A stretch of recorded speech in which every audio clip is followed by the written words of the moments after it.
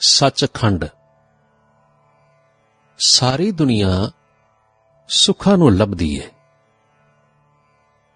ਹਰ ਮਨੁੱਖ ਦਿਨ ਤੇ ਰਾਤ, ਹਰ ਵੇਲੇ ਇਹੀ ਕੋਸ਼ਿਸ਼ ਕਰ ਰਿਹਾ ਹੈ ਕਿ ਮੈਂ ਸੁੱਖਾਂ ਨੂੰ ਇਕੱਠਿਆਂ ਕਰ ਲਵਾਂ। ਪਰ ਕੋਈ ਇੱਕ ਮਨੁੱਖ ਵੀ ਇਹੋ ਜਿਹਾ ਕਾਮਯਾਬ ਨਹੀਂ ਨਿਕਲਿਆ, ਜਿਹੜਾ ਸਾਰੇ ਸੁੱਖਾਂ ਨੂੰ ਇਕੱਠਿਆਂ ਕਰ ਸਕੇ। ਕੋਸ਼ਿਸ਼ ਨਾਲ ਜੇ ਕੋਈ ਦੋ ਸੁੱਖ ਇਕੱਠੇ ਕੀਤੇ ਵੀ ਤੇ ਤੀਜੇ ਦੇ ਮਗਰ ਲੱਗਾ, ਤਾਂ ਤੀਜਾ ਸੁੱਖ ਪ੍ਰਾਪਤ ਹੋਣ ਤੋਂ ਪਹਿਲਾਂ ਪਹਿਲਾਂ ਇਕੱਠੇ ਕੀਤੇ ਦੋ ਸੁੱਖ ਵੀ ਖਿਲਰਨੇ ਸ਼ੁਰੂ ਹੋ ਗਏ। ਸਾਰੀ ਦੁਨੀਆ ਬਸ ਇਸੇ ਖੇਡ ਵਿੱਚ ਲੱਗੀ ਹੋਈ ਉਮਰ ਬਿਤਾ ਲੈਂਦੀ ਏ। ਕੋਈ ਪੈਸੇ ਦਾ ਤੇ ਰਾਜ ਦਾ ਮਾਲਕ ਬਾਦਸ਼ਾਹ। ਕੋਈ ਅਕਲ ਦਾ ਜਾਂ ਤਜਵੀਜ਼ਾਂ ਦਾ ਮਾਹਰ ਵਜ਼ੀਰ, ਕੋਈ ਸਿਆਸਤਦਾਨ, ਕੋਈ ਮਿਨਿਸਟਰ, ਕੋਈ ਯੋਧਾ, ਕੋਈ ਮਸ਼ਹੂਰ ਡਾਕਟਰ, ਭਾਵੇਂ ਕੋਈ ਵੀ ਆਪਣੇ ਗਿਆਨ ਦੇ ਤਜਰਬੇ ਕਰਕੇ ਚੋਟੀ ਤੇ ਪੁੱਜਾ ਹੋਇਆ ਮਨੁੱਖ ਆਪਣੇ ਸਾਰੇ ਸੁੱਖ ਆਪਣੇ ਕੋਲ ਇਕੱਠੇ ਕਰਕੇ ਤੇ ਉਹਨਾਂ ਨੂੰ ਕਾਇਮ ਰੱਖਣ ਦੀ ਡੀਂਗ ਨਹੀਂ ਮਾਰ ਸਕਦਾ। ਕਿਵੇਂ ਡੀਂਗਾ ਮਾਰੇ? ਕਿਉਂਕਿ ਇਹ ਹਰ ਵੇਲੇ ਦੇ ਬਦਲਣ ਵਾਲੀ ਚੀਜ਼ ਹੈ ਦੁਨੀਆ। ਜਿਸ ਵਿੱਚ ਕੋਈ ਵੀ ਚੀਜ਼ ਇੱਕ ਘੜੀ ਵੀ ਕਾਇਮ ਨਹੀਂ ਰਹਿੰਦੀ। ਤੇ ਉਸ ਸਦਾ ਸਦਾ ਬਦਲਣ ਵਾਲੀ ਦੁਨੀਆ ਵਿੱਚ ਕੋਈ ਚੀਜ਼ ਪੱਕੇ ਰਹਿਣ ਦੀ ਉਮੀਦ ਕਰਨੀ ਇਹ ਮੂਰਖਤਾ ਨਹੀਂ ਤਾਂ ਹੋਰ ਕੀ ਹੈ? ਇਹ ਤੇ ਉਹੋ ਜੀ ਗੱਲ ਹੈ, ਜਿਵੇਂ ਰੇਤਲੇ ਮੈਦਾਨ ਵਿੱਚ ਪੱਕਾ ਮਹਿਲ ਉਸਾਰਨਾ। ਮੂਰਖਤਾ ਨਹੀਂ ਤਾਂ ਹੋਰ ਕੀ ਹੋ ਸਕਦਾ ਹੈ? ਸਾਰੀਆਂ ਗੱਲਾਂ ਜਾਣਦਾ ਹੋਇਆ ਵੀ ਮਨੁੱਖ ਫਿਰ ਇਸੇ ਕੋਸ਼ਿਸ਼ ਵਿੱਚ ਰਹਿੰਦਾ ਹੈ ਕਿ ਦੁਨੀਆ ਤੇ ਸੁਖ ਭੋਗਣ ਵਾਲਾ ਸਵਰਗ ਜ਼ਰੂਰ ਬਣਾਵਾਂ ਤੇ ਉਹਦੇ ਵਿੱਚ ਰਵਾਂ। ਤੇ ਮੈਂ ਆਪਣੇ ਬਾਲ ਬੱਚੇ ਤੇ ਪਰਿਵਾਰ ਨੂੰ ਵੀ ਉਹਦੇ ਵਿੱਚ ਰੱਖਾਂ। ਕਿਉਂਕਿ ਸੁੱਖਾਂ ਦੀ ਲੋੜ ਹਰ ਵੇਲੇ ਪੈਂਦੀ ਰਹਿੰਦੀ ਹੈ ਇਸ ਕਰਕੇ ਕਾਮਯਾਬੀਆਂ ਅੱਗੇ ਪਿੱਛੇ ਆਉਂਦਿਆਂ ਵੀ ਇਹ ਧੁਣ ਖਤਮ ਨਹੀਂ ਹੁੰਦੀ। ਇਹ ਵੀ ਸੱਚ ਏ ਕਿ ਦੁਨੀਆ ਵਿੱਚ ਰਹਿੰਦਿਆਂ ਸੁੱਖਾਂ ਦੀ ਲੋੜ ਸਦਾ ਬਣੀ ਰਹਿੰਦੀ ਹੈ ਤੇ ਉਹਨਾਂ ਸੁੱਖਾਂ ਨੂੰ ਹਾਸਲ ਕਰਨ ਦਾ ਯਤਨ ਵੀ ਹੁੰਦਾ ਰਹਿੰਦਾ ਫਿਰ ਕੀ ਕੀਤਾ ਜਾਵੇ? ਜਿਹਦੇ ਨਾਲ ਸਾਰੇ ਸੁੱਖ ਮਿਲ ਜਾਣ ਤੇ ਪੱਕੇ ਤੌਰ ਤੇ ਮਿਲ ਜਾਣ। ਪੱਕਾ ਸੁੱਖ ਲੈਣ ਵਾਸਤੇ ਜ਼ਰੂਰੀ ਹੈ ਕਿ ਉਹਨਾਂ ਨੂੰ ਪੱਕੀਆਂ ਨੀਹਾਂ ਤੇ ਖੜਾ ਕੀਤਾ ਜਾਵੇ। ਸ੍ਰੀ ਗੁਰੂ ਗ੍ਰੰਥ ਸਾਹਿਬ ਜੀ ਦਾ ਪਾਠ ਅਤੇ ਆਤਮ ਸਾਇੰਸ ਇਹ ਦੱਸਦੀ ਹੈ ਕਿ ਇਸ ਕੱਚੀ ਤੇ ਬਦਲ ਜਾਣ ਵਾਲੀ ਦੁਨੀਆ ਵਿੱਚ ਪੱਕੀ ਚੀਜ਼ ਸਿਰਫ ਤੇ ਸਿਰਫ ਇੱਕੋ ਇੱਕ ਵਾਹਿਗੁਰੂ ਹੈ, ਜਿਹੜਾ ਕਦੇ ਵੀ ਨਾ ਬਦਲਣ ਵਾਲੀ ਸ਼ਕਤੀ ਹੈ। ਗੁਰੂ ਜੀ ਆਖਦੇ ਨੇ, ਸਭ ਜਗ ਚਲਤਾ ਉਪੇਖੀ ਹੈ ਨੇਚਲ ਹਰ ਕੋ ਨਾਉ, ਕਰ ਮਿਤਰਾਈ ਸਾਧ ਸਿਓ ਨੇਚਲ ਭਾਵੇਂ ਠਾਉ। ਵਾਹਿਗੁਰੂ ਦੇ ਸਭ ਨਿਯਮ ਪੱਕੇ ਨੇ। ਸਭ ਤਰ੍ਹਾਂ ਦੇ ਪ੍ਰਬੰਧ ਪੱਕੇ ਨੇ। ਸਭ ਸਿਤਾਰੇ, ਜਿਨ੍ਹਾਂ ਵਿੱਚ ਸਾਡੀ ਜ਼ਮੀਨ, ਸੂਰਜ ਤੇ ਚੰ드ਰਮਾ ਵੀ ਨੇ। ਇਹ ਵੀ ਇੱਕ ਠੀਕ ਸਿਸਟਮ ਵਿੱਚ, ਇੱਕ ਪੂਰੇ ਸਦੀਵੀ ਇੰਤਜ਼ਾਮ ਵਿੱਚ ਕੰਮ ਕਰ ਰਹੇ ਨੇ। ਕਦੇ ਇਹ ਨਿਯਮ ਨਹੀਂ ਬਦਲਦੇ। ਬਿਜਲੀ, ਰੇਡੀਓ, ਹਵਾਈ ਜਹਾਜ਼ ਅਤੇ ਹੋਰ ਇਸ ਤਰ੍ਹਾਂ ਦੀਆਂ ਅਨੇਕਾਂ ਸ਼ਕਤੀਆਂ ਸਦੀਵੀ ਅਤੇ ਕਦੇ ਨਾ ਬਦਲਣ ਵਾਲੇ ਅਸੂਲਾਂ ਤੇ ਕੰਮ ਕਰ ਰਹੀਆਂ ਨੇ ਅਤੇ ਦੱਸ ਰਹੀਆਂ ਨੇ ਕਿ ਵਾਹਿਗੁਰੂ ਇੱਕ ਸਦੀਵੀ ਤੇ ਨਾ ਬਦਲਣ ਵਾਲੀ ਚੀਜ਼ ਹੈ। ਸਾਡੇ ਲਈ ਜ਼ਰੂਰੀ ਹੈ ਕਿ ਸਦੀਵੀ ਸੁੱਖਾਂ ਵਾਸਤੇ ਅਸੀਂ ਵਾਹਿਗੁਰੂ ਦੀ ਓਟ ਲਈਏ ਤੇ ਆਤਮ ਸਾਇੰਸ ਦਾ ਪੱਲਾ ਫੜੀਏ। ਜਦੋਂ ਅਸੀਂ ਆਤਮ ਸਾਇੰਸ ਵੱਲ ਜਾਂਦੇ ਹਾਂ ਤੇ ਧਿਆਨ ਨਾਲ ਸੁਣਦੇ ਹਾਂ ਤਾਂ ਇਹ ਮਿੱਠੀ ਸੁਰੀਲੀ ਤੇ ਪਿਆਰ ਭਰੀ ਆਵਾਜ਼। ਸਾਨੂੰ ਇਹ ਆਖਦਿਆਂ ਸੁਣਾਈ ਦਿੰਦੀ ਏ ਕਿ ਐ ਸਦੀਵੀ ਸੁੱਖਾਂ ਦੀ ਤਲਾਸ਼ ਵਿੱਚ ਨਿਕਲੇ ਬੰਦੇ ਤੂੰ ਦੁਨੀਆ ਵਿੱਚ ਸੁੱਖਾਂ ਦੇ ਸਮਾਨ ਇਕੱਠੇ ਕਰ ਕਰਕੇ ਆਪਣੇ ਆਲੇ ਦੁਆਲੇ ਸਵਰਗ ਬਣਾਉਣ ਦੀ ਕੋਸ਼ਿਸ਼ ਬਹੁਤ ਵਾਰ ਕੀਤੀ ਹੈ ਪਰ ਪੂਰੇ ਸੁੱਖਾਂ ਵਾਲਾ ਸਵਰਗ ਨਾ ਕਦੇ ਬਣਿਆ ਤੇ ਨਾ ਕਦੇ ਬਣਨਾ ਆ ਤੈਨੂੰ ਬਣਿਆ ਬਣਾਇਆ ਸਵਰਗ ਦਸੀਏ। ਤੂੰ ਉਹਦੇ ਵਿੱਚ ਦਾਖਲ ਹੋ ਜਾ। ਤੇ ਸਵਰਗ ਬਣਾਉਣ ਦੀ ਸਾਰੀ ਮਿਹਨਤ ਬਚ ਜਾਏਗੀ। ਨਾਲੇ ਸਿਰਫ ਉਸ ਸਵਰਗ ਵਿੱਚ ਪਹੁੰਚਣ ਨਾਲ ਹੀ ਸਾਰੇ ਸੁੱਖ ਪੂਰੇ ਤੇ ਪੱਕੇ ਮਿਲ ਜਾਣਗੇ। ਤੇ ਉਹ ਵਾਲੇ ਸੁੱਖ ਫਿਰ ਕਦੇ ਛੱਡ ਕੇ ਵੀ ਨਹੀਂ ਜਾਣਗੇ। ਉਥੇ ਨਾ ਤੇ ਬਿਮਾਰੀ ਹੁੰਦੀ ਹੈ ਨਾ ਮੌਤ, ਨਾ ਕਿਸੇ ਚੀਜ਼ ਦੀ ਥੋੜ। ਜ਼ਰੂਰਤ ਦੀਆਂ ਸਭ ਚੀਜ਼ਾਂ ਉੱਥੇ ਮੌਜੂਦ ਨੇ। ਨਾ ਦੁੱਖ, ਨਾ ਸੰਤਾਪ, ਨਾ ਡਰ, ਨਾ ਗਲਤੀ, ਨਾ ਕਾਮਯਾਬੀ।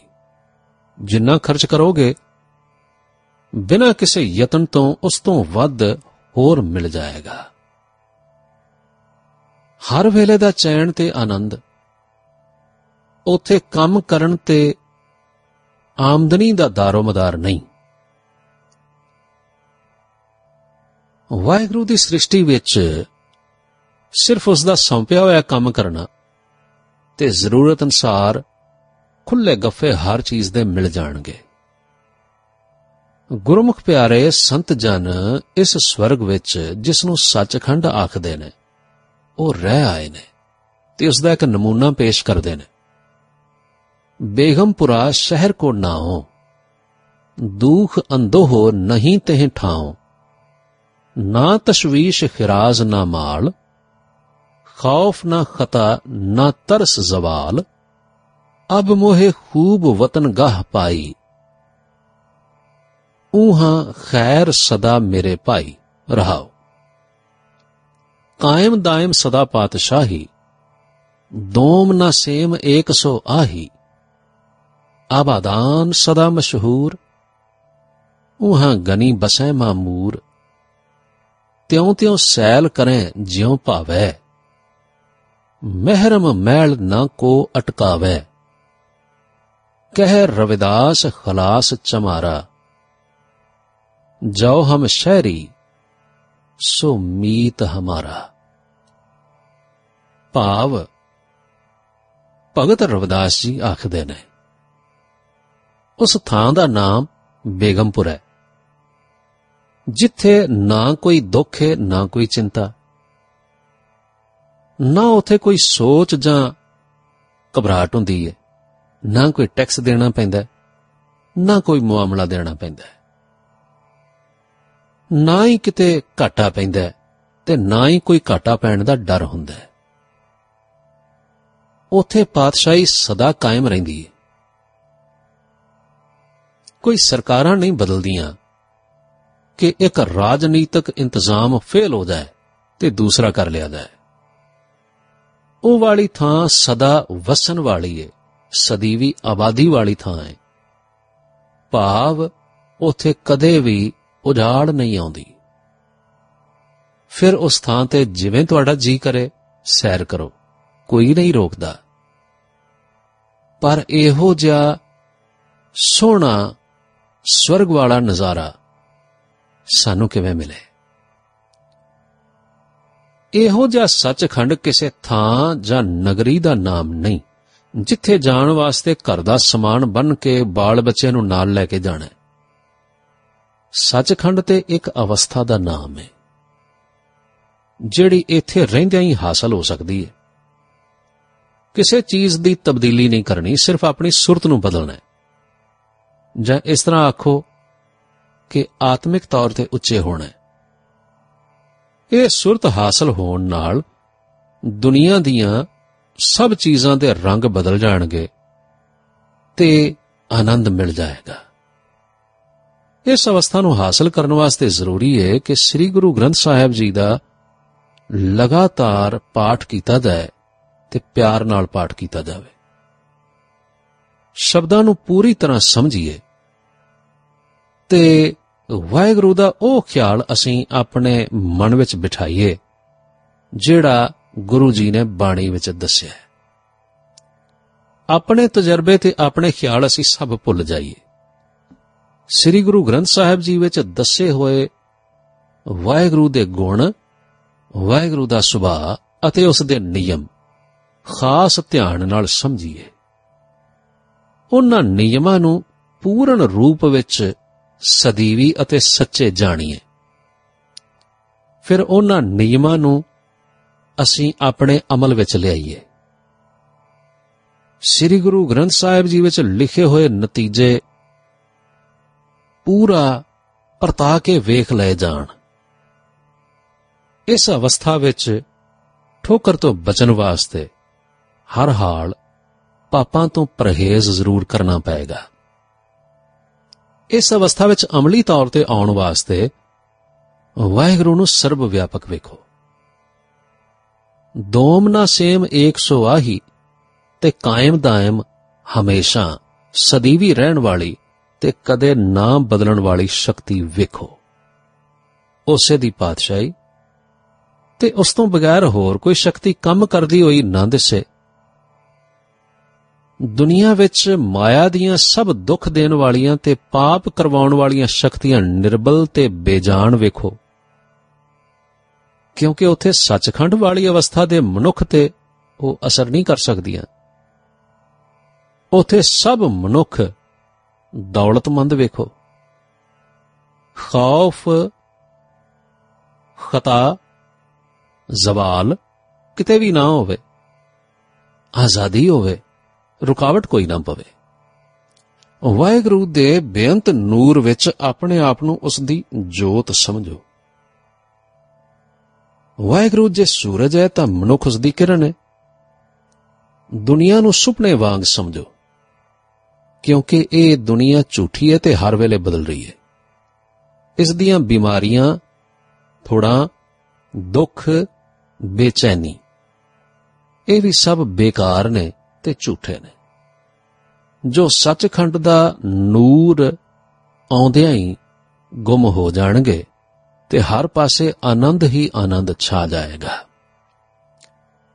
ਸ੍ਰੀ ਗੁਰੂ ਗ੍ਰੰਥ ਸਾਹਿਬ ਜੀ ਦੇ ਸ਼ਬਦਾਂ ਦੀ ਖੋਜ ਕਰਨ ਨਾਲ ਸੱਚਖੰਡ ਦੇ ਹੋਰ ਬਹੁਤ ਸਾਰੇ ਗੁਣ ਤੇ ਨਜ਼ਾਰੇ ਦਿਸਣਗੇ। ਉਹਨਾਂ ਨੂੰ ਵੀ ਸੁਰਤ ਵਿੱਚ ਕਾਇਮ ਕਰੋ।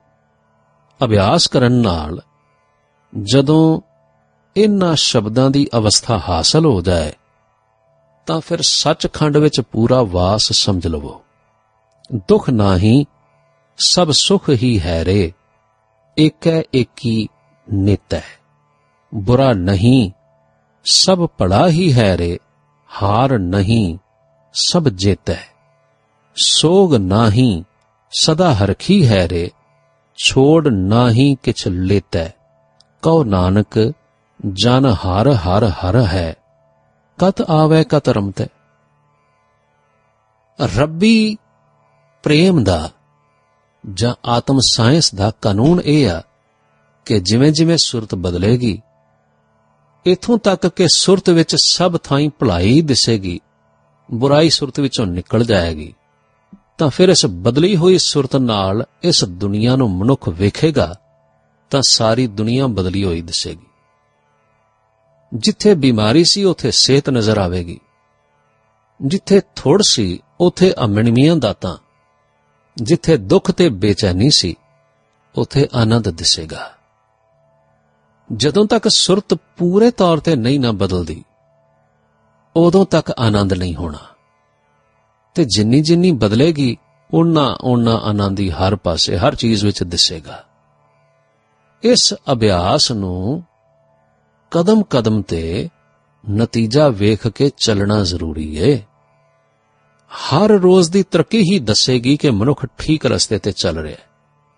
ਨਿਸ਼ਚੈ ਨਾਲ ਇਸ ਰਾਹ ਤੇ ਚੱਲਣ ਨਾਲ ਵਾਹਿਗੁਰੂ ਆਪ ਬਾਹ ਫੜ ਕੇ ਚਲਾਉਂਦਾ ਹੋਇਆ ਦਿਸੇਗਾ ਤੇ ਸਾਰੇ ਸ਼ੰਕੇ ਦੂਰ ਕਰਕੇ ਆਪ ਹੀ ਅਗਵਾਈ ਦੇਵੇਗਾ। ਇਹ ਅਭਿਆਸ ਗ੍ਰਸਥੀ ਦਾ ਅਟਲ ਸਿਮਰਨ ਹੈ। ਕਿਉਂਕਿ ਹਰ ਮੌਕੇ ਤੇ ਉਹ ਵਾਹਿਗੁਰੂ ਨੂੰ ਹਾਜ਼ਰ ਵੇਖਦਾ ਹੈ ਤੇ ਉਸ ਦੀ ਸ਼ਕਤੀ ਨੂੰ ਹੀ ਕੰਮ ਕਰਦਿਆਂ ਵੇਖਦਾ ਹੈ। ਨਾਲੇ ਠੀਕ ਨਤੀਜਾ ਨਿਕਲਣ ਤੇ ਬੜੀ ਤਸੱਲੀ ਹੁੰਦੀ ਹੈ ਤੇ ਦਿਲ ਲੱਗਾ ਰਹਿੰਦਾ ਹੈ। ਜਿਵੇਂ ਜਿਵੇਂ ਫਿਰ ਉਹ ਵੇਖਦਾ ਹੈ ਨਾ ਕਿ ਜੋ ਕੁਝ ਇਥੋਂ ਇੱਕ ਵਾਰੀ ਹਾਸਲ ਹੋ ਗਿਆ, ਫਿਰ ਉਹ ਕਦੇ ਸਾਥ ਨਹੀਂ ਛੱਡ ਕੇ ਜਾਂਦਾ, ਤਾਂ ਉਸ ਦੀ ਖੁਸ਼ੀ ਤੇ ਸ਼ੁਕਰਾਨੇ ਦੀ ਕੋਈ ਹੱਦ ਨਹੀਂ ਰਹਿੰਦੀ।